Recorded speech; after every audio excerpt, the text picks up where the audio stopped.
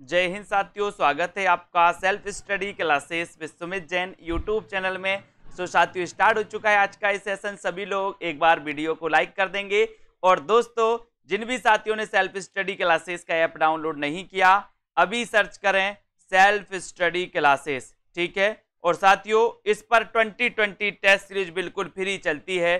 सप्ताह में दो दिन, रविवार और गुरुवार को, ठीक है? तो आप 2020 टेस्ट सीरीज़ से जुड़ सकते हैं सेल्फ स्टडी क्लासेस में। आप बिल्कुल फ्री। आपको डाउनलोड करना है सेल्फ स्टडी क्लासेस ऐप और दोस्तों, पढ़ना है। और एक और आपके लिए नया दोस्तों ऐप लॉन्च किया गया है केवल हिंदी साहित्य के लिए। आप हिंदी साहित्य का ये वाला ऐप आप डाउनलोड कर सकते जिसमें आपको हिंदी साहित्य दोस्तों पढ़ना हो। ठीक है? तो जो भी हमारे साथी जूनियर एडिट की तैयारी कर रहे हैं तो एडिट जूनियर सुपर टेट के लिए 20 model paper Hindi 100 number Hindi के लिए दोस्तों 20 मॉडल पेपर लॉन्च किए गए। अब 20 मॉडल पेपर में दोस्तों आपके लिए बहुत ही इंपॉर्टेंट प्रश्नों का संकलन किया है है ना? संभावित प्रश्नों का संकलन किया है तो आप दोस्तों 20 मॉडल पेपर मात्र 350 में इसमें एडमिशन ले सकते हैं और अपने प्रैक्टिस कर सकते हैं, ठीक है? साहित्य और दोस्तों हिंदी साहित्य की डेली टेस्ट सीरीज़ चलती है, जिसकी वैलिडिटी एक वर्ष रखी गई है।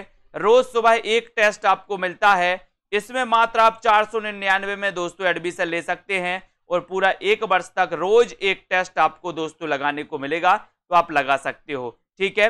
तो स्टार्ट करते हैं दोस्तों आज का ये सेशन हिंदी साहित्य का जो ऐप है, ये लाइव हो चुका है। आप लोग इसको दोस्तों डाउनलोड कर सकते हैं। ठीक है? आज दोस्तों अपन कुछ महत्वपूर्ण प्रश्नों पर चर्चा करने वाले हैं। आज आपका पहला प्रश्न है कि भक्ति आंदोलन को ईसाइत की देन किसने माना है? जल्दी से आपको बताना है, कमेंट में लिखना है और लाइक कर देना है। भक्ति आंदोलन को ईसाइत की देन किसने माना है, ये आपको चयन करना है। चयन करिए, सभी साथी चयन करेंगे। भक्ति आंदोलन को ईसाइत की देन मानने वाले जो विद्वान है, वो विद्वान कौन है? कौन बताएगा सबसे पहले और सबसे पहले बताया है कि सर ईसाइत की जो देन माना है वो माना है किसने? ग्रियर्सन ने। किसने माना है? ग्रियर्सन, यानी आपका एक नंबर जो है, वो बिल्कुल सही हो जाएगा। ये नंबर आपका राइट आंसर हो जाएगा। सभी लोगों ने बताया है कमल जी राणा जी योगेंद्र जी बहुत बढ़िया। भक्ति काव्य को भारतीय चिंताधारा का चिंतन धारा का दोस्तों, स्वाभाविक विकास किसने माना है? बहुत बढ़िया प्रश्न प्रश्न क्रमांक टू का आंसर आपको चयन करना है। भक्ति काव्य को भारतीय चिंतन धारा का स्वाभाविक विकास किसने माना है? सभी से बनेगा। बताइए, क्या हो जाएगा आपका राइट आंसर भक्ति काव्य को भारतीय चिंतन धारा का स्वाभाविक विकास किसने माना है? प्रश्न क्रमांक टू का आंसर और टू में आपका उत्तर हो जाएगा हजारी प्रसाद द्विवेदी। यानी कि आपका जो बी नंबर है, वो बिल्कुल सही है। बी नंबर आपका राइट आंसर है। पराजय के बाद व्यक्ति अपनी आध्यात्मिक श्रेष्ठता प्रदर्शित करना चाहता है। यही मनोवृत्ति भक्ति आंदोलन का स्रोत है। यह है कथन किसका है? प्रश्न क्रमांक तीन में आपको बताना है। पराजय के बाद व्यक्ति अपनी आध्यात्मिक श्रेष्ठता प्रदर्शित करना चाहता है। यही मनोवृत्ति भक्ति आंदोलन का स्रोत है।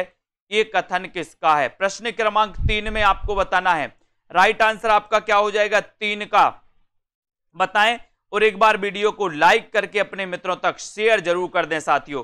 इतने अच्छे क्वेश्चन जो आपके लिए बहुत ही इंपॉर्टेंट हो सकते हैं। पराजय के बाद व्यक्ति अपनी आध्यात्मिक श्रेष्ठता प्रदर्शित करना चाहता है। ये कथन आपको बताना है। ये कथन है किसका? और बहुत सारे लोगों ने बता दिया सी, लेकिन इसका सही उत्तर है बाबू गुलाब राय। क्या है इसका सही उत्तर? बाबू गुलाब राय यानी कि आपका जो बी नंबर है दोस्तों बी नंबर आपका यहाँ पर सही हो जाएगा। ठीक है? बहुत बढ़िया। दिल से हजली बहुत बढ़िया आंसर बी नंबर जिन्होंने बताया राइट आंसर भक्ति काल को हिंदी साहित्य का स्वर्ण योग किसने कहा है? आपको दोस्तों विकल्प अनुसार उत्तर बताना है। स्वर्ण काल और स्वर्ण युग में मतभेद नहीं करना यहाँ पर। है ना? ये क्वेश्चन जैसा पूछा गया है, इसमें आप क्या उत्तर लगाओगे? बताइए प्रश्न क्रमांक चार का आंसर। तो स्वर्ण काल और स्वर्ण युग, यहाँ पर मतभेद करना है दोस्तों, बिल्कुल सही है। यहाँ पर स्वर्ण युग किसने कहा और स्वर्ण काल किसने कहा? ऐसा अगर क्वेश्चन आता है तो आपको मतभेद करना है स्वर्ण काल और स्वर्ण युग में। तो बताइए यहाँ पर राइट आंसर क्या हो जाएगा आपका? दोनों ऑप्शन है आपके पास। एक तो गिरियर्सन भी दिया आपके पास और एक डॉक्टर श्याम सुंदर दास भी दिया है। देखते हैं कौन कौन सही उत्तर बता रहा है। बताइए। और बहुत सारे लोगों ने बिल्कुल सही आंसर बताया है कि सर स्वर्ण काल कहा था किसने? गिरियर्सन ने। लेकिन स्वर्ण युग जो कहा था, वो श्याम सुंदर दास ने कहा था। अगर इस प्रकार का क्वेश्चन आए तो आपको सी नंबर लगाना है। ठीक है? अगर यहाँ पर स्वर्ण युग की जगह अगर काल होता तो आप जॉर्ज गिरियर्सन लगाते। ठीक है? जॉर्ज गिरियर्सन बोले, काल के सामने गिरे। गिरे तो गिरियर्सन। है ना? तो काल कहा किसने? जॉर्ज गिरियर्सन ने, युग कहा किसने? श्याम सुंदर दास ने। तो यहाँ पर आपका उत्तर सी नंबर बिल्कुल सही हो जाएगा। ठीक है? हिंदी साहित्य के इतिहास में नामकरण की दृष्टि से कौन सा काल सबसे कम विवादास्पद रहा है? विवादास्पद सबसे कम कौन सा काल रहा है? प्रश्न क्रमांक पाँच में सभी साथी ऐप को डाउनलोड कर लें। ऐप की लिंक नीचे दी है दोस्तों। और जिन भी साथियों को दोस्तों क्या करना है, ओपी चिंपा जी बिल्कुल, बहुत बढ़िया। हिंदी साहित्य के इतिहास में नामकरण की दृष्टि से कौन सा काल सबसे कम विवादास्पद रहा है, ये आपको बताना है प्रश्न क्रमांक पाँच में, और पाँच का उत्तर आपका चला जाएगा। भक्ति काल, यानी आपका डी नंबर बिल्कुल सही हो जाएगा। ठीक है, कम विवादास्पद रहा है भक्ति काल। वेरी गुड, अगले क्वेश्चन की ओर आते दोस्तों। अगला क्वेश्चन आपको बताना है कि भक्ति को धर्म का रसात्मक रूप किसने कहा है? प्रश्न क्रमांक छह में, भक्ति को धर्म का रसात्मक रूप किसने कहा है? ये प्रश्न क्रमांक आपका छह है। छह का आंसर आपको चयन करना है। सभी साथी चयन करेंगे। जल्दी से नीचे लिंक दी है ऐप की। एक तो हिंदी साहित्य का आपका ऐप है और एक है दोस्तों आपका सेल्फ स्टडी क्लासेस। ठीक है? तो भक्ति को धर्म का रसात्मक रूप किसने कहा? ये प्रश्न क्रमांक छह का आंसर आपसे पूछा है और सभी लोगों ने बिल्कुल सही बताया कि सर आचार्य शुक्ल ने कहा, यानी बी नंबर आपका बिल्कुल सही है। B number right answer very good भक्ति काल को हिंदी साहित्य का स्वर्ण युग कहा जाता है। क्योंकि क्यों कहा जाता है? बताइए। सभी लोग बताएँ, भक्ति काल को हिंदी साहित्य का स्वर्ण युग कहा जाता है? क्यों कहा जाता है? प्रश्न क्रमांक सात का आंसर बताना है। सात का राइट आंसर क्या हो जाएगा? भक्ति काल को हिंदी साहित्य का स्वर्ण युग कहा जाता है। क्यों कहा जाता है? ये उत्तर आपको चयन करना है और यहाँ पर आपका उत्तर क्या होता है? देखते हैं कौन कौन सही उत्तर बता पाता है। ये है प्रश्न आपका। चयन करना है लाइक करना है शेयर करना है और इस सेशन से आपको जुड़े रहना है। और यहाँ पर आपने उत्तर बता दिया बी इस काल की रचना अत्यंत लोकप्रिय एवं उत्कृष्ट है, यानी कि बी नंबर आपका बिल्कुल सही है। ठीक है? बहुत बढ़िया। बी नंबर आपका राइट आंसर हो जाएगा। भक्ति आंदोलन को इस्लामी आक्रमण से पराजित हिंदू जनता की असहाय एवं निराश मना स्थिति से किसने जोड़ा है? प्रश्न क्रमांक आठ में बताना है। किसने जोड़ा है? महापंडित राहुल सांकृत्यायन ने आचार्य हजारी प्रसाद द्विवेदी ने रामचंद्र शुक्ल ने या फिर नंद दुलारे वाजपेयी ने बताएँ, भक्ति आंदोलन को इस्लामी आक्रमण इस्लामी आक्रमण से पराजित हिंदू जनता की असहाय एवं निराश मना स्थिति से किसने जोड़ा? प्रश्न क्रमांक आठ का आंसर, और आप लोगों का आंसर बिल्कुल सही आ रहा है कि सर इसमें अगर टिक लगाओगे तो आप रामचंद्र शुक्ल लगा देना। सी नंबर लगा देना, जो कि आपका बिल्कुल सही है। वेरी गुड बहुत बढ़िया। यहाँ पर आ जाते हैं भक्ति द्रविड़ उपजी लाए रामानंद। ये किसने कहा है? ये आपको बताना है। बताइए चिंपा जी प्रश्न क्रमांक नौ आरपीएससी आ रहा है क्या चिंपा जी बताइए यहाँ पर, भक्ति द्राविण उपजी लाए रामानंद। प्रश्न क्रमांक नौ का आंसर, और नौ में आपका राइट आंसर क्या हो जाएगा? भक्ति द्राविड़ उपजी लाए रामानंद। ये किसने कहा? प्रश्न क्रमांक नौ में, और नौ का सीधा आंसर आपका जा रहा है कि सर ये कहा है किसने? कबीर ने। किसने कहा है? कबीर, यानी कि आपका जो डी नंबर है, यहाँ पर आपका डी बिल्कुल सही हो जाएगा। रामानुजाचार्य के गुरु कौन थे? प्रश्न क्रमांक दस। रामानुजाचार्य के गुरु बताना है आपको। रामानुजाचार्य के गुरु कौन थे? ये आपका क्वेश्चन है। प्रश्न क्रमांक दस में अपन को प्रश्नानुसार उत्तर बताना है, तब आपका राइट आंसर यहाँ पर क्या हो जाता है? बताइए। लाइक करना है सभी साथियों को शेयर कर दो अपने मित्रों तक self study classes app download कर लो। Self study classes app download कर लेना है। रामानुजाचार्य के गुरु कौन थे? तो उत्तर हो जाएगा ए नंबर यानी कि कांचीपूर्ण। कौन थे? कांचीपूर्ण। ए नंबर जिन्होंने बताया राइट आंसर किसके? भक्ति परक गीतों का संकलन। अभंग के नाम से जाना जाता है। बताएँ, किसके भक्ति परक गीतों का संकलन अभंग के नाम से जाना जाता है? ये प्रश्न क्रमांक आपका ग्यारह है। तो आपको बताना है, उत्तर क्या हो जाएगा? ग्यारह नंबर का। राइट आंसर बताना है लक्ष्मी जी, और अभंग के नाम से जाना जाता है। वो है दोस्तों कौन? नामदेव। एक नंबर नामदेव बिल्कुल सही हो जाएगा।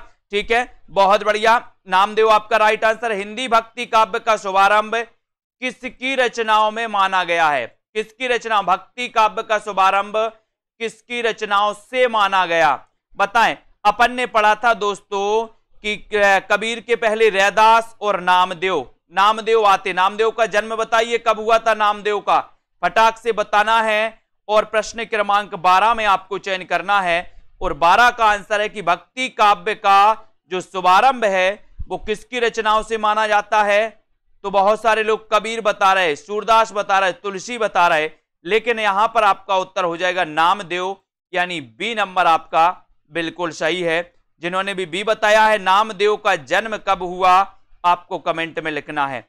बताइए कब हुआ? नामदेव को अपन ने पढ़ा कि इनकी भक्ति परक गीतों का संकलन अभंग के नाम से जाना जाता है। है ना? और भक्ति काव्य का शुभारंभ किसकी रचनाओं से माना गया? तो नामदेव की। ठीक है? बहुत बढ़िया। दिव्य प्रबंधम काव्य संकलन है दोस्तों। तो बताइए, किसका है? दिव्य प्रबंधम। सभी लोग बताएँगे। प्रश्न क्रमांक तेरह। जब दोस्तों आपसे क्रमबद्ध पूछा जाता है तो आपको पता होनी चाहिए कि सर, पहले नामदेव, रैदास और फिर बाद में आते हैं कबीर। है ना? प्रश्न क्रमांक तेरह का आंसर और तेरह का आपका उत्तर हो जाएगा कि सर ये आलबार भक्तों का काव्य संकलन है, दिव्य प्रबंधम। ठीक है? बहुत बढ़िया। ये सी नंबर आपका सही हो जाएगा। लेकिन आपको बताना है कि आलबार भक्तों की संख्या कितनी है? आलबार भक्तों की संख्या कितनी है? और आलबार भक्तों में एक दोस्तों, कौन थी? महिला संत भी थी। उनका नाम क्या था, वो भी आपको बताना है। बताइए आलबार भक्तों के बारे में।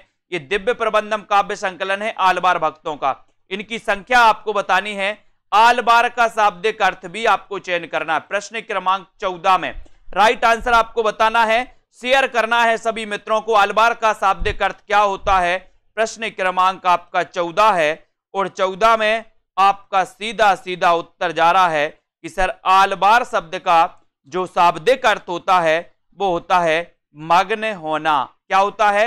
मग्न होना, यानी आपका डी नंबर बिल्कुल सही है। डी नंबर सही वेरी गुड निर्गुण एवं सगुण दोनों प्रकार की भक्ति का मुख्य लक्षण क्या है? बताइए, आपको पता है भक्ति काल को दो काव्य धाराओं में बांटा गया था।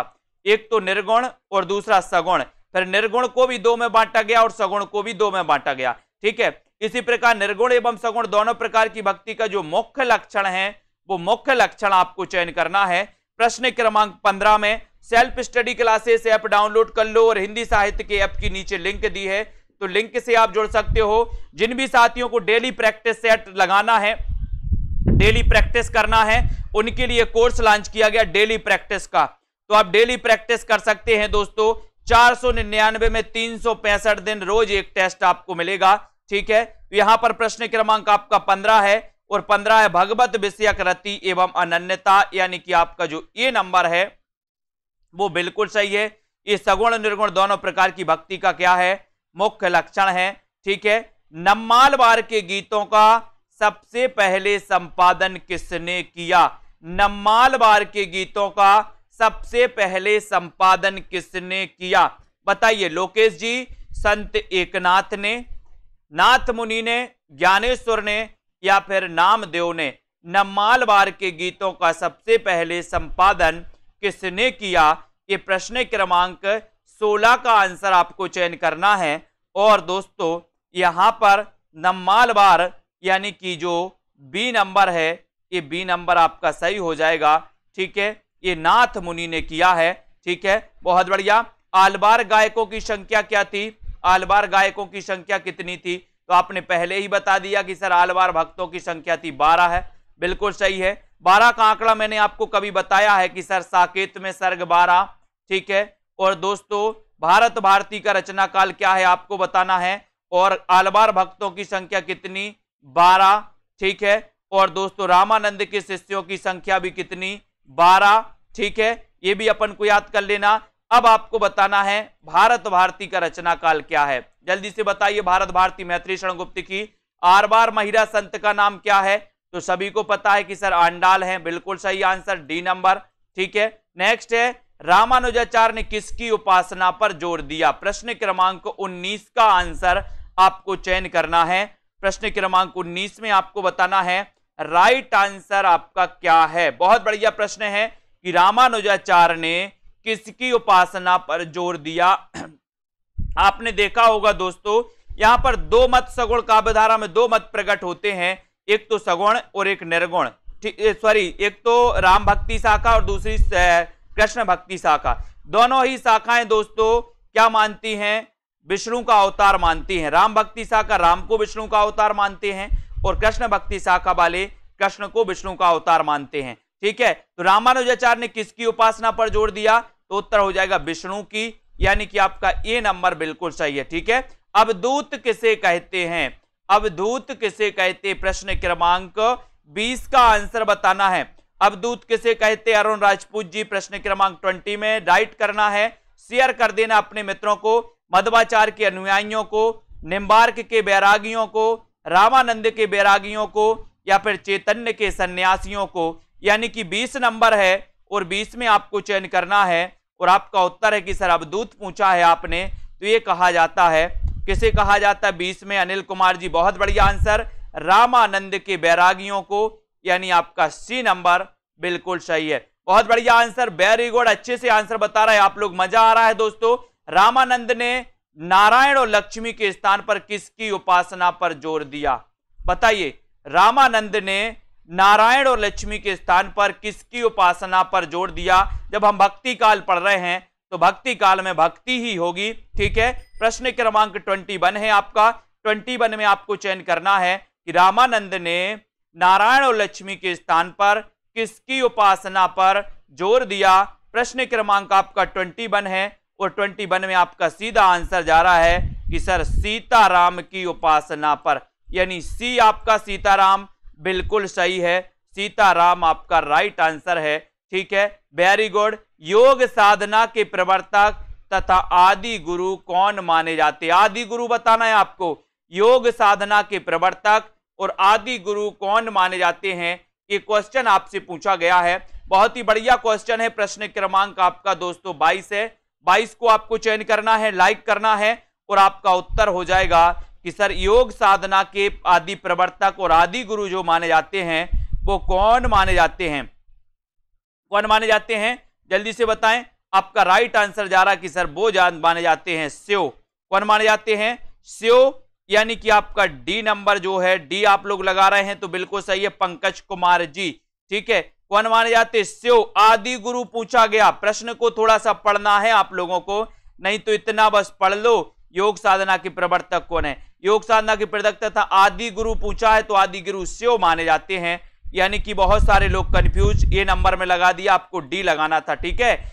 आपको अगर पूछा जाता दोस्तों, नाथ पंथ के प्रवर्तक कौन है? नाथ मत के प्रवर्तक कौन है? तो आप गोरखनाथ लगाते, लेकिन यहाँ पर आदि गुरु आपसे पूछा गया तो आपको स्यो लगाना है है ना? आपको संत मत का महत्व इसलिए है क्योंकि वे मानते हैं। क्या मानते हैं? 23 का आंसर। बताना है, संत मत का महत्व इसलिए है क्योंकि वे मानते हैं, भक्त जन्म मरण से मुक्त होते हैं, ईश्वर को मिलाने वाला गुरु है, भक्ति क्षेत्र में जाति पाति का भेद, शास्त्रीय ज्ञान का महत्व। यानी कि प्रश्न आपका 23 है। 23 में आपको चयन करना है और आपका उत्तर हो जाएगा कि सर, ईश्वर को मिलाने वाला गुरु है, यानी बी नंबर आपका सही हो जाएगा। संत मत का महत्व इसलिए है क्योंकि वे मानते हैं कि ईश्वर को मिलाने वाला कौन है? गुरु है। यानी बी नंबर आपका राइट आंसर नीमा किस कवि की माता का नाम था? नीमा किस कवि की माता का नाम था? बहुत अच्छा क्वेश्चन है, सभी से बनेगा 24 में। लाइक करते चलें सभी साथी। और 24 का आंसर बताना है। इस क्लास को अटेंड करें रोज आप लोग। 24 में आपको चयन करना है। और 24 में आपका है कि सर कबीर दास की माता का नाम था नीमा। लेकिन प्रश्न यहीं तक नहीं रोका दोस्तों। आपको यह भी बताना कि कबीर दास का जन्म कब हुआ और कहाँ पर हुआ, मृत्यु कहाँ पर हुई? ये तीन क्वेश्चन और साथ में बताना है। उत्तर भारत में वैष्णव भक्ति के संस्थापक कौन हैं? उत्तर भारत में वैष्णव भक्ति के संस्थापक कौन हैं? ये आपको बताना है। विकल्प अनुसार आपको चयन करना है। प्रश्न क्रमांक 25 में संस्थापक पूछा गया दोस्तों। तो संस्थापक में आप क्या उत्तर लगाओगे? उत्तर भारत में वैष्णव भक्ति के संस्थापक कौन है? आपको चयन करना है। 25 में और 25 में आपका बिल्कुल सही आंसर हो जाएगा रामानुज। कौन है? रामानुज, है ना? और रामानुज संस्थापक हैं। और दोस्तों, आपको पता है कि उत्तर भारत में राम भक्ति शाखा को जो फैलाने वाले थे, प्रचार करने वाले थे, वो कौन थे? रामानंद। यहाँ तो आपका उत्तर बी नंबर बिल्कुल सही हो जाएगा। नेक्स्ट है, निर्गुण भक्ति का आदि स्रोत क्या है? आदि स्रोत बताना है। आपने देखा था कि सर जो है, आपको पता था कि भक्ति काल दो काव्य धाराओं में बट गया था, सगुण और निर्गुण। निर्गुण भक्ति का आदि स्रोत क्या है, ये आपसे क्वेश्चन पूछा गया है। तो सभी लोग बताएँगे 26 में और 26 का आपका सीधा आंसर जा रहा है कि सर, निर्गुण भक्ति का आदि स्रोत जो माना जाता है, वो माना जाता है स्वेता सुतर उपनिषद, यानी आपका जो डी है, वो बिल्कुल सही है। D number right answer very good smart संप्रदाय के प्रवर्तक संस्थापक कौन थे? क्वेश्चन पूछा गया स्मार्ट है ना? स्मार्ट स्मार्ट देखते ना कुछ लोग। यहाँ पर स्मार्ट दिया है। अब स्मार्ट को अपन स्मार्ट पढ़ लेंगे। अब स्मार्ट अगर आपको बनना है तो क्या करोगे? क्या करोगे बताइए। उदय यादव जी, प्रश्न क्रमांक ट्वेंटी सेवन में स्मार्ट बनना है तो क्या करना है?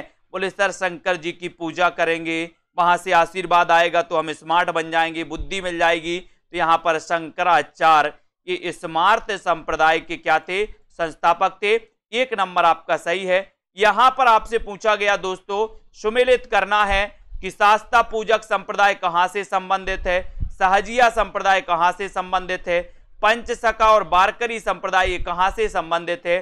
सूची एक को सूची दो से मिलान करना है और बहुत अच्छा क्वेश्चन आपसे पूछा गया है कि शास्ता पूजक संप्रदाय, शास्ता शास्ता से बनेगा सस्ता सस्ता से क्या बनेगा? बोले, सस्ता है करेला। करेला क्या है? सस्ता है। तो करेला से सस्ता हो जाएगा शास्ता पूजक संप्रदाय केरल। ठीक है? सहजिया संप्रदाय आपसे पूछा गया। तो सहजिया याद रखते ना, बोले, सर, बंगला सहज में नहीं मिलता, कि मिल जाता है? कि बोले बोले, आपका सपना क्या है? बोले हाँ एक गाड़ी होना चाहिए, एक बंगला होना चाहिए, मोटर कार होना चाहिए, है ना? तो बोले, बंगला सहज में नहीं मिलता तो याद रख लेना सहजिया संप्रदाय कहाँ से संबंधित है? तो आपका उत्तर हो जाएगा, उत्तर हो जाएगा दोस्तों बंगाल से, ठीक है? पंच सखा संप्रदाय पंच सखा बोले पंच सखा उड़ गए उड़ गए तो उड़िया से उड़ीसा पंच सखा कहाँ गए? उड़ गए। जब आप पर विपत्ति आती है, जब आपके पाँच सखा होते हैं, जब आप विपत्ति में होते हो तो पाँच सखा उड़ जाते हैं, गायब हो जाते हैं, ठीक है? बारकरी संप्रदाय ये बारकरी संप्रदाय महाराष्ट्र।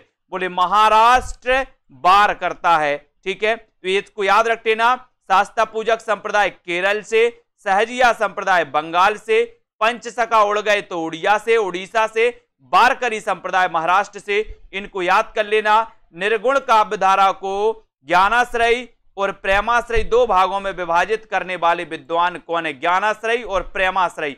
बताइए 29 का आंसर बताना है। 29 में आपका राइट आंसर क्या हो जाएगा? लाइक करते हुए अपने मित्रों तक शेयर करिए और दोस्तों बने रहिए। ऐसी ही अनेकों ट्रिक आपको मैं बताऊँगा। निर्गुण काव्य धारा को ज्ञानाश्रय और प्रेमाश्रय दो भागों में विभाजित करने वाले जो विद्वान हैं, वो विद्वान कौन है? बताएँ, बहुत अच्छा क्वेश्चन है। ज्ञानाश्रय मैंने आपको बढ़ाया है कई बार। 29 का आंसर बताना है और आपको पता है कि सर ये निर्गुण काव्य धारा को जो ज्ञानाश्रय शाखा और प्रेमाश्रय शाखा में बांटा है, वो बांटा है किसने? रामचंद्र शुक्ल ने। डी नंबर आपका बिल्कुल सही है, ठीक है? अब आपको यहाँ पर बताना कि साधना के क्षेत्र में जो ब्रह्मा है, साहित्य के क्षेत्र में वही रहस्यवाद है, ये बताना है कि ये किसने कहा? प्रश्न अच्छे से पढ़ लो।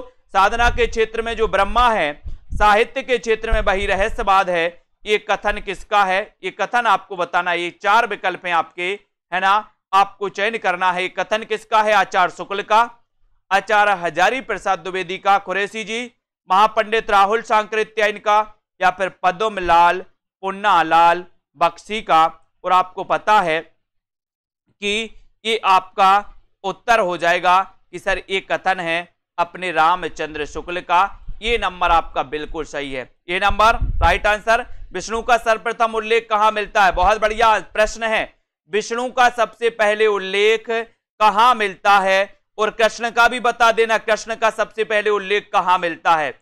वो भी आपको बताना है। प्रश्न क्रमांक थर्टी वन है अच्छा क्वेश्चन आया है। यजुर्वेद में अथर्वेद में, ऋग्वेद में, या फिर साम वेद में? थर्टी वन का आंसर और आपका सीधा आंसर कहाँ जा रहा है? देखते हैं कौन कौन सफल होता है इस प्रश्न को बताने में। और विष्णु का सबसे पहले जो उल्लेख मिलता है दोस्तों, वो उल्लेख मिलता है ऋग्वेद में। लेकिन क्वेश्चन यहीं तक सीमित नहीं है। कृष्ण का सबसे पहले उल्लेख कहाँ मिलता है, ये भी आपको बताना है। तो जल्दी बताओ, वैष्णव धर्म के संस्थापकों में नहीं है तो कौन नहीं है? वैष्णव धर्म के संस्थापकों में कौन नहीं है? प्रश्न क्रमांक थर्टी टू का आंसर बताना है। वैष्णव संप्रदाय, आपको यहाँ पर प्रश्न क्रमांक बत्तीस का आंसर बताना है। और बत्तीस में आपका राइट आंसर दोस्तों, आपको पता है, वैष्णव धर्म के संस्थापकों में रामानुजाचार हैं, है ना? इन्होंने स्त्री संप्रदाय की स्थापना की थी, विशिष्टा द्वैतवाद की प्रवर्तक माने जाते हैं। मध्वाचार की बात करें तो ये द्वैतवाद के दोस्तों प्रवर्तक माने जाते हैं। निम्बार्क की बात करें तो ये द्वैता, द्वैतवाद के माने जाते हैं। और द्वैता द्वैतवाद यानी कि उसे सनक संप्रदाय भी कहा जाता है और यही सनक संप्रदाय आपकी टीजीटी में पूछा था कि सनक संप्रदाय के प्रवर्तक कौन है? तो आप, मैंने आपको बताया था कि निम्बू देत देत थक गए पड़ोसी को। देत देश से द्वैता द्वैत निम्बार्क अब नींबू को, नींबू अगर पड़ोसी को नहीं दोगे तो पड़ोसी सनक जाएगा। सनक जाएगा तो सनक संप्रदाय निम्बार्क याद कर लेना। भक्ति आंदोलन का सूत्रपात उत्तर भारत में ना होकर दक्षिण भारत में हुआ था। इसके मूल कारण में कौन सा कथन सत्य है? बताइए। प्रश्न क्रमांक थर्टी थ्री है। अच्छा क्वेश्चन है। सभी लोग बताएँगे। फ्रीडम जी, बताइए थर्टी थ्री का आंसर लाइक कर दीजिए अपने मित्रों तक और शेयर ज़रूर कर दें। और नीचे लिंक दी है हिंदी साहित्य के ऐप की तो ऐप डाउनलोड कर लें। थर्टी थ्री का आंसर आपको चयन करना है। और आपका उत्तर जा रहा है कि सर यहाँ पर दक्षिण भारत पूर्णतः क्या था? निरापद था निरापद था तो एक नंबर आपका सही हो जाएगा। ये नंबर आपका राइट आंसर है। बहुत बढ़िया आंसर ठीक है? वेरी गुड आंसर ये कथन सत्य है। एक नंबर आपका वेरी गुड अद्वैत दर्शन या अद्वैतवाद के प्रवर्तक कौन है? प्रश्न क्रमांक थर्टी फोर अद्वैतवाद के प्रवर्तक कौन माने जाते हैं? ये आपको बताना है। उत्तर क्या हो जाएगा? थर्टी फोर का आंसर। लाइक करना है, मित्रों को शेयर करना है, सेल्फ स्टडी क्लासेस ऐप को दोस्तों डाउनलोड कर लेना है और इस सीरीज़ से आपको जुड़े रहना है है ना? आपको चयन करना है यहाँ पर। अद्वैतवाद के प्रवर्तक कौन है? तो अपन ने पढ़ा था कि सर शंकर क्या है? अद्वितीय हैं। अद्वितीय हैं कि नहीं? अद्वितीय हैं, ठीक है? अद्वितीय हैं तो अद्वितीय से क्या हो जाएगा? अद्वैत। अद्वैतवाद और अद्वैतवाद के दोस्तों आचार शंकराचार्य माने जाते हैं, यानी कि आपका यहाँ पर डी नंबर अद्वैतवाद का पूछा है अद्वैतवाद के शंकराचार अद्वैतवाद के शंकराचार। बहुत बढ़िया, सूची एक से सूची दो को मिलान करिए। यहाँ पर आपसे दिया है शुद्धाद्वैतवाद के प्रवर्तक कौन है, ये आपको बताना। अद्वैतवाद के कौन है विशिष्टा द्वैतवाद के कौन, द्वैतवाद के कौन क्वेश्चन पूछा ही जाता है। तो आपको पता होगा कि शुद्धाद्वैतवाद के बल्लभाचार बिल्कुल सही है। अद्वैतवाद के शंकराचार्य ये भी बिल्कुल सही है। विशिष्टाद्वैतवाद के रामानुजाचार ये भी सही है और द्वैतवाद के मधवाचार बिल्कुल सही सही दिया है बोले सर। शुद्धा द्वैतवाद, शुद्ध बल बल से बल्लभाचार अद्वैत अद्वितीय कौन है? शंकर तो शंकराचार विशिष्ट कौन है? राम तो रामानुजाचार द्वैतवाद मधवाचार ठीक है, यहाँ से क्वेश्चन आता है। अद्वैतवाद के प्रवर्तक आचार्य शंकर को कुछ पुराण पंथियों ने प्रछन्न बोध कहा था। क्योंकि क्यों कहा था? 36 का आंसर बताइए। उत्तर क्या हो जाएगा उसमें सभी लोग बताएँगे। प्रश्न क्रमांक 36 का आंसर। अद्वैतवाद के प्रवर्तक आचार्य शंकर को कुछ पुराण पंथियों ने प्रचन्न बोध कहा था। क्यों कहा था? ये क्वेश्चन आपको बताना है। 36 का आंसर आपको चयन करना है और बहुत ही बढ़िया है दोस्तों। बताएँ 36 का आंसर और लाइक करना है अपने मित्रों तक। शेयर कर देना है दोस्तों। और जिन भी साथियों को एडिट जूनियर का मॉडल पेपर हिंदी नंबर 100 का मॉडल पेपर प्रैक्टिस करना है, वो 350 में सेल्फ स्टडी क्लासेस में आप मॉडल पेपर में एडमिशन ले सकते हैं। और यहाँ पर 36 का आंसर है। तो यहाँ पर आपका डी नंबर सही है कि बौद्ध धर्म में सभी मनुष्य समान है। शंकराचार्य ने इसी का अनुकरण किया था, यानी कि आपका जो डी नंबर है, वो बिल्कुल सही है। ठीक है? अद्वैतवाद के अनुसार बताइए, जीव और ब्रह्मा एक है क्या? संसार सत्य है। सैतीस का आंसर आपको चयन करना है और दो विकल्पों में से ही आप उत्तर बता सकते हो। अद्वैतवाद, यानी कि प्रवर्तक शंकराचार्य। अब अद्वैतवाद के अनुसार क्या सही है? अद्वैतवाद मैंने आपको कई बार पढ़ाया है दोस्तों। नीरज कुमार जी पढ़ाया है कि नहीं पढ़ाया? अद्वैतवाद। अद्वैतवाद के अनुसार क्या है? गलत नहीं होना चाहिए। बताइए, क्या राइट आंसर है? सैतीस का आंसर प्रमोद सैनी जी। अद्वैतवाद के अनुसार जीव और ब्रह्मा एक हैं। जीव और ब्रह्मा एक हैं। यानी कि ये नंबर आपका बिल्कुल सही है। ये नंबर आपका राइट आंसर हो जाएगा। उसके बाद थोड़ा सा आते हैं। यहाँ वहाँ देखते हैं और पूछते हैं कि भक्ति आंदोलन को दक्षिण से उत्तर भारत लाने का श्रेय किस, किसको है? एक नॉर्मल क्वेश्चन आपसे पूछ लिया गया, जो कि आपको बहुत अच्छे से पता है। दक्षिण भारत से उत्तर भारत लाने का श्रेय किसे है? ये आपको बताना है। सभी लोग बताएँगे उत्तर क्या हो जाएगा। प्रश्न क्रमांक 38 में आपको चयन करना है और 38 में भक्ति आंदोलन को दक्षिण से उत्तर भारत लाने का श्रेय किसको है? उत्तर क्या हो जाएगा यहाँ पर? सभी को पता है कि सर संत रामादास रामानंद लाए थे बारह शिष्य थे इनके, है ना? बारह शिष्यों में एक कबीरदास भी थे, ठीक है? कबीरदास भी थे, रामानंद दोस्तों सगुण पंथी थे। जबकि कबीर जो थे निर्गुण पंथी थे। यानी कि रामानंद सगुण थे और सगुण भक्ति धारा के इस रामानंद के शिष्यों में दोस्तों निर्गुण पंथी भी थे, है ना? हरिदासी संप्रदाय के प्रवर्तक कौन है? हरिदासी संप्रदाय। बहुत बढ़िया क्वेश्चन आपसे पूछा गया है। कौन कौन सही उत्तर बताएगा? और इस हरिदासी संप्रदाय को और किस नाम से जाना जाता है? ये भी क्वेश्चन आपको बताना है। प्रश्न क्रमांक उनतालीस का आपको चयन करना है। लाइक कर देना है। आपको शेयर करना है। हरिदासी संप्रदाय के प्रवर्तक कौन है और इस हरिदासी संप्रदाय को और किस नाम से जाना जाता है, ये भी आपको बताना है। और यहाँ पर तो आपका हो जाएगा कि सर, हरिदासी संप्रदाय, यानी कि उत्तर क्या हो जाएगा?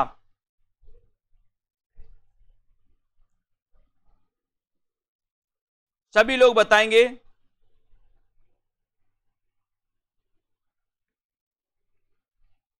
यहाँ पर आपका उत्तर हो जाएगा स्वामी हरिदास, ठीक है? ये हरिदासी संप्रदाय के प्रवर्तक माने जाते हैं दोस्तों। इनको अपन को याद करना है। कुछ विद्वान हित हरिवंश को भी मानते हैं, लेकिन इनके नाम पर स्वामी हरिदास के नाम पर यह हरिदासी संप्रदाय पड़ा था, है ना? यहाँ पर आपका उत्तर एक नंबर बिल्कुल सही हो जाता है। अगला क्वेश्चन है, वैष्णव धर्म के चार प्रमुख आचार्यों में से किसने अपने सिद्धांतों में भक्ति और ज्ञान का समुच्चय माना है? बताएँ। प्रश्न क्रमांक 40 40 का आंसर आपको चयन करना है और यहाँ पर बहुत बढ़िया आंसर आया है कि सर इसे टट्टी संप्रदाय भी कहा जाता है और इसे सखी संप्रदाय भी कहा जाता है। ठीक है? वैष्णव धर्म के चार प्रमुख आचार्यों में से किसने अपने सिद्धांतों में भक्ति और ज्ञान का समुच्चय माना है?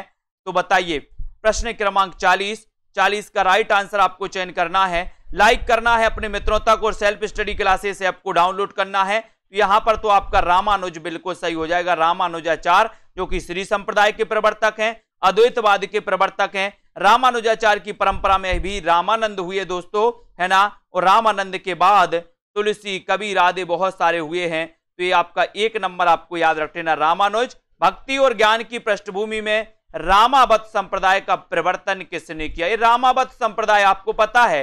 बहुत अच्छे से आप जानते हो रामावत संप्रदाय को। सभी लोग बताएँगे और एक बार लाइक करके शेयर ज़रूर कर दीजिए सभी साथी। मज़ा आ रहा हो आपको अगर? तो इकतालीस में आपको रामावत संप्रदाय पूछा गया और रामावत में आपने बता दिया कि सर बी नंबर लगा दो, रामानंद लगा दो, कोई हर्जा नहीं है। बारकरी संप्रदाय पूछा गया, इसके प्रवर्तक कौन है? बारकरी संप्रदाय पूछा गया, इसके प्रवर्तक कौन है? यहाँ पर आपको विकल्प अनुसार उत्तर लगाना है दोस्तों। बयालीस का आंसर विकल्प अनुसार आपका सही उत्तर क्या हो जाएगा? बयालीस में आप चयन बताएँगे, है ना? कहीं कहीं बारकरी संप्रदाय यहाँ पर विकल्प में आपको पुंडलिक नहीं दिया है दोस्तों, है ना? लेकिन यहाँ पर आपको विकल्प अनुसार अगर उत्तर लगाने को बोला जाए तो आप लोग क्या उत्तर लगाएँगे? बताओ, उत्तर लगाना है आपको संत ज्ञानेश्वर। संत ज्ञानेश्वर यानी कि सी नंबर, ठीक है? तो सी नंबर आपका यहाँ पर बिल्कुल सही है। ज्ञानेश्वर आपका राइट आंसर हो जाएगा। श्री संप्रदाय के प्रवर्तक आचार कौन है? बहुत अच्छा क्वेश्चन है। मैंने आपको कई बार बता चुके इसी क्लास में। तो बताइए श्री संप्रदाय के प्रवर्तक आचार कौन है? लाइक करना है शेयर करना है, लगे रहना है दोस्तों। प्रैक्टिस करने के लिए प्रैक्टिस करने के लिए लगे रहना है और self study classes app download कर लेना। आगे आने वाले आरपीएससी एग्ज़ाम है ना? और दोस्तों master cadre exam HP TET H TET आदि एग्जामों के लिए हिंदी साहित्य का सर्वश्रेष्ठ सेल्फ स्टडी क्लासेस जब तक तोड़ेंगे नहीं, तब तक छोड़ेंगे नहीं। है ना? तो श्री संप्रदाय के प्रवर्तक, रामानुजाचार। कहाँ गए? ए हैं, B number, Ramanujachar. Very good B right answer very good Rudra संप्रदाय पूछा गया, रुद्र। तो रुद्र संप्रदाय के प्रवर्तक कौन है? अच्छा क्वेश्चन है। रुद्र संप्रदाय पूछा भी जाता है दोस्तों, और रुद्र संप्रदाय के प्रवर्तक कौन माने जाते हैं? इसका आपको चयन करना है। मध्वाचार निम्बार्क विष्णु स्वामी, या फिर रामानुज यानी कि चवालीस का आंसर, और चवालीस में बिल्कुल सही आंसर आ रहा है कि सर, अगर आप रुद्र संप्रदाय पूछोगे तो टिक भी लगा देना Vishnu Swami. Vishnu Swami, C number right answer very good C number, Jambhnath ने अपने मत का प्रचार करने के लिए किस संप्रदाय की स्थापना की? 45 बताएँ। जम्बनाथ ने अपने मत का प्रचार करने के लिए किस संप्रदाय की स्थापना की? ये पैंतालीसवा प्रश्न है। लाइक कर देना है एक बार और 45 में आपको चयन करना है और सीधा आंसर जा रहा है कि सर, विश्व में जंभ जाओ। विश्वनोई संप्रदाय। विश्वनोई संप्रदाय के प्रवर्तक कौन है? जंभनाथ। विश्व में? विश्व में जंभ जाओ। जंभ जाओ तो जंभ से जंभनाथ और विष्णोई से डी नंबर। इनको याद करोगे। अनंतानंद कबीर सुखा सुरसुरा पद्मावती, नरहरी, पीपा, भावानंद, रैदास, धन्ना सेन, सुरसरी और घर हरी है ना? ये रामानंद के शिष्यों की यह सूची किस काव्य ग्रंथ में है? ये सूची किस काव्य ग्रंथ में है? बताइए। अनंतानंद, कबीर, सुखा, सुरसरा अलग अलग प्रकार से रामानंद के शिष्यों का वर्णन किया है। राम कुमार वर्मा कुछ अलग मानते हैं, भक्तमाल में कुछ अलग दिया है। यहाँ पर आपका छियालीस का आंसर आपसे पूछा गया है। छियालीस में आपका राइट आंसर बताना है। और उत्तर आपका क्या हो जाएगा? उत्तर हो जाएगा भक्तमाल। भक्तमाल पूछा वेरी गुड भक्तमाल में ये दोस्तों अनंतानंद कबीर, सुखा, सुरसुरा, पद्मावती, इनका वर्णन है, लेकिन भक्तमाल का रचना काल क्या है और रचनाकार कौन है, ये भी आपको बताना है। जल्दी बताओ, कबीर की वाणी का संग्रह बीजक कहलाता है, इसके कितने भाग हैं? बीजक के कितने भाग हैं? बताइए, बीजक के कितने भाग हैं? सैतालीस का आंसर। बीजक के कितने भाग हैं? दो, तीन, चार या फिर पाँच? यानी कि सैतालीस नंबर में आपको चयन करना है और सीधा आंसर चला गया कि सर बीजक में जो भाग हैं, वो भाग हैं कितने? तीन, यानी बी नंबर आपका बिल्कुल सही है। ठीक है? बीजक में भाग तीन हैं। कौन कौन से हैं? वो भी आपको बताना। दोस्तों, यहाँ पर आपका उत्तर है कि भक्ति काल की समय सीमा क्या है? भक्ति काल की समय सीमा आपको बताना है, संबत में दिया है तो संबत में आपको चयन करना है। साकी सबद रमैनी वेरी गुड आंसर बहुत बढ़िया आंसर सभी लोग बताएँगे। राइट आंसर 48 में आपको चयन करना है। भक्ति काल की समय सीमा क्या है? 48 में 48 में बताइए। राइट आंसर और सभी को पता है कि सर संबत 1375 से लेकर के 1700 का जो काल है, ये माना जाता है भक्ति काल। ठीक है? वेरी गुड आंसर सभी साथियों के लिए धन्यवाद। सभी साथी दोस्तों, ये प्ले स्टोर में जाके सेल्फ स्टडी क्लासेस का ऐप डाउनलोड कर लें। यहाँ पर सप्ताह में दो दिन टेस्ट सीरीज़ होती है, बिल्कुल फ्री और डेली टेस्ट सीरीज़ होती है, जिसमें एडमिशन लेना है तो चार सौ निन्यानवे डेली टेस्ट सीरीज़ होती है दोस्तों इसमें, है ना? एक डेली प्रैक्टिस सेट लॉन्च किया गया है। वो आपके लिए चार सौ निन्यानवे में एडमिशन लेकर के आप कर सकते हो। साथ ही एडेड जूनियर का ट्वेंटी मॉडल पेपर बनाए गए हैं। बहुत ही स्पेशल प्रश्नों के मॉडल पेपर सौ नंबर हिंदी के। तो ये आप दोस्तों इसमें एडमिशन लेकर के अध्ययन कर सकते हैं। ठीक है? साथ ही ये डेली टेस्ट सीरीज़ चल रही है। एक वर्ष की वैलिडिटी के साथ रोज सुबह आठ बजे एक टेस्ट आपके लिए आता है। आपको वो हल करना होता है। ठीक है? ये हिंदी साहित्य का एक ऐप लॉन्च किया गया है। इस ऐप को आप डाउनलोड कर सकते नीचे लिंक दी है। उस लिंक से हिंदी साहित्य का ये ऐप लाइव हो चुका है प्ले स्टोर पर। तो इससे आप लोग जुड़ें और ये आपकी 2020 टेस्ट सीरीज़ चलती है। सेल्फ स्टडी क्लासेस और दोस्तों हिंदी साहित्य वाले ऐप पर। तो आप किसी भी एग्ज़ाम की तैयारी कर रहे हैं, चाहे आप आरपीएससी की तैयारी में लग गए हैं, चाहे आप दोस्तों जूनियर एडिट की तैयारी में लग गए हैं, चाहे आप एल ग्रेड की तैयारी में लगे हैं, टीजीटी, पीजीटी तैयारी लगे हैं, मास्टर कैडर, या फिर दोस्तों आप H P TET H TET exam में लगे हैं तो आपके लिए बहुत ही सुनहरा ये अवसर आता है। इससे आप लोग जुड़े कमलदीप जी, रीतिका बबीता, दारसू जी, संगीता जी, सुरभि सत्य जी ठीक है, दारसू जी, छाया द्विवेदी जी, सभी साथियों को धन्यवाद। आप लोग लाइक करें शेयर करें सोनी जी, ठीक है, आस्था जी, लवली ठाकुर जी और रितिका जी, शिव कुमार जी, पढ़ते रहें, अध्ययन करते रहें, नीरज कुमार जी, ठीक है, और लगे रहें दोस्तों। तैयारी में लग जाए प्रैक्टिस सेट चालू कर दें प्रैक्टिस लगाएँ रोज। अच्छा प्रैक्टिस आप लोगों का हो जाएगा। नर्मदा गुप्ता जी, सुगंधा जी, ठीक है, विवेक जी बहुत बढ़िया, विश्वास मलिक जी, राधिका, जगीता, बबीता जी, शशि जी, अरविंद जी, अन्नू जी, संगीता जी, नरेंद्र जी, आकांक्षा दीपशिका जी, ठीक है, अनिल कुमार, नूरी जी, दीप, अजय जी, बहुत बढ़िया, बिल्कुल सही है। सभी साथियों को धन्यवाद, शेयर करते रहें अपने मित्रों तक, और दोस्तों, आज के इस वीडियो के लिए बस इतना ही। जय हिंद।